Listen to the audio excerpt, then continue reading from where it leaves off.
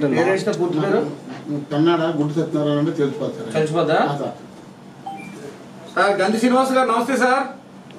నమస్కారం. సార్ నేను మొక్కా శ్రీనివాసరావు అండి జనసేన ఎంపీ క్యాండిడేట్ విజయనగరం. ముక్క శ్రీనివాస్ గారా? ఆ, అవును సార్ అవును సార్. చిన్న పన్నెండు మీతో ఫోన్ చేశాను సార్. ఏమీ లేదు సార్ ఇక్కడ మన ఎవరండి మీది. పెన్నాడ గుడ్డు సచ్చినారని అంటండి. బ్లైండ్ బ్లైండ్ సచ్చినారని అంట. పాప మీ దగ్గరికి వచ్చాడంట ఒకసారి. ఆయన కష్టపడి కట్టుకుని ఇల్లు వాళ్ళ భార్య ఆక్యుపై చేసుకుని బయటికి గెంటేసిందంట. అవును ఒకసారి అడిగితే మీరు సాయం చేస్తా ఉన్నారంట మరి ఈ లోపల మీరు బిజీ అయిపోయారో ఏమైపోయారో పాపం కొంచెం హెల్ప్ చేయండి సార్ ఈయనకి.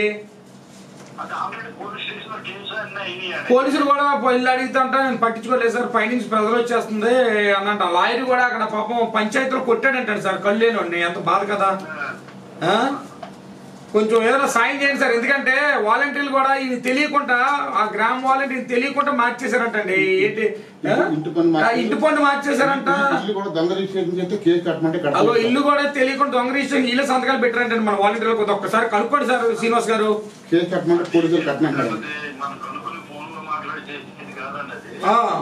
నేను మర్చిపోయిన అతను ఫోన్ చేస్తాడు నన్ను ఎక్కించేస్తున్నాడు ఆ, ఎక్కడి నుంచి హైదరాబాద్లో ఉంటాడు ఫోన్ చేస్తాడు ఆ, అది దొంగ సంతకాలు పెట్టేసి వీళ్ళమ్మా అని ఇతను అంటాడు. ఏంటంటే ఇతను సంతకం పెట్టినట్టు పెట్టి ట్రాన్స్ఫర్ అయిపోయింది ఆస్తి ఈ సంతకం పెట్టలేదు కళ్ళే లేవు కదా ఎలా పెడతాడు? అంటే అది కాదు సార్ ఈ పట్టా గవర్నమెంట్ మీ గవర్నమెంట్ ఇచ్చిన పట్టా పట్టా ట్రాన్స్ఫర్ అవ్వదు కదా? ఈయన పేరు ఉంటుంది ఎన్నారైనా పట్టా భూమి అండి. అసలు రిజిస్టర్ భూమి కాదు. గవర్నమెంట్ ఇచ్చిన డీ ఫామ్ పట్టా భూమి. మరి అదే అదే జిమ్మికి వాలంటీర్లు చేశారంట. కొంచెం దృష్టి పెట్టండి సార్. ప్లీజ్ ఏమనుకోవద్దు. రిక్వెస్ట్ చేస్తున్నాను. మీ దగ్గర పంపిస్తాను. మీ దగ్గర పంపిస్తాను. ఏడుస్తున్నాడు. నాకు బాధ అనిపించి మీకు ఫోన్ చేశాను. మీరు మంచి వాళ్ళు కొద్దిగా హెల్ప్ చేసే వ్యక్తిత్వం ఉన్న వాళ్ళు మీకు ఫోన్ చేశాను.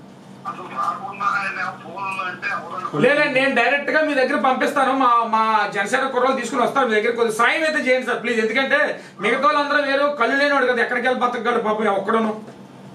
ఇల్లు లేక ఎక్కడెక్కడ పడుకుంటున్నాడు రైల్వే స్టేషన్ దాంట్లో పడుకుంటున్నా అంటున్నాడు. మీ దగ్గర నేను పంపిస్తానండి ఒక లెటర్ రాసి. Okay sir?